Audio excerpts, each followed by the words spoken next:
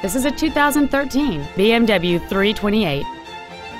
It features a 2.0-liter four-cylinder engine and an automatic transmission. Features include the premium package, dual power seats, cruise control, a CD player, a leather-wrapped steering wheel, a passenger side vanity mirror, BMW individual composition, front side impact airbags, air conditioning with automatic climate control, and this vehicle has fewer than 2,000 miles on the odometer.